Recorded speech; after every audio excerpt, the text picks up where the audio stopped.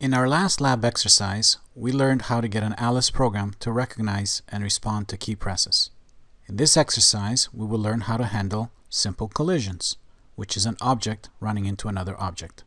Start Alice and open our previous keyboard events exercise and add another object such as a pillar.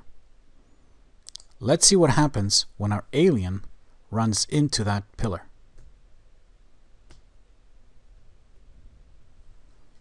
Although the alien may have special powers, we still don't want him to go through the pillar. From the Code Editor panel, click on the Add Event Listener drop-down list box and select Position Orientation, Add Collision, Start Listener, Custom Array, Custom Array. A dialog box will be displayed that asks us to define the objects that will collide. Click on the Add drop-down list box and select the alien. Click on OK and then a similar dialog box will be displayed. It's now asking for the object that it will collide with. This time we select the ancient temple pillar and click on OK. We have now told Alice to watch for a collision between the alien and the ancient temple pillar.